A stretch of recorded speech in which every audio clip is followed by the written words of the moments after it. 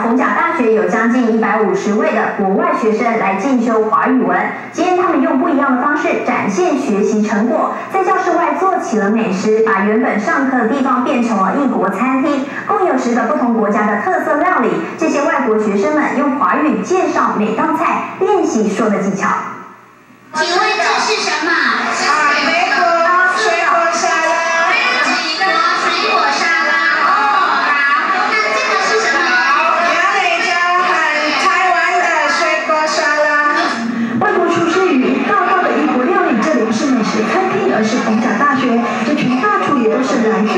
各国学习华语的学生。那个华语文中心的学生，他们为了呈现他们学华语文的这个成果，那我们这次用那个国际美食周的方式，让他们来介绍他们自己的这个呃国家的一个这个饮食。那他们就要跟这个呃来购买这个呃享用这个这个呃餐点的同学或老师来介绍，用华语文来介绍这个餐点的特色。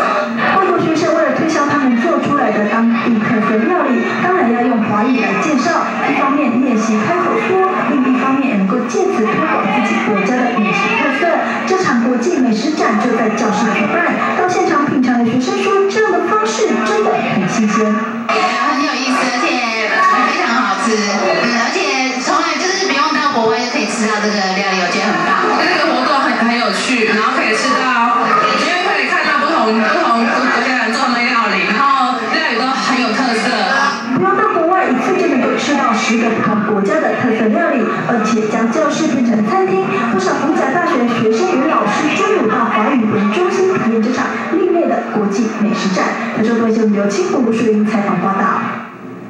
还要告诉您，考上国立大学呢，通常功课不好的学生。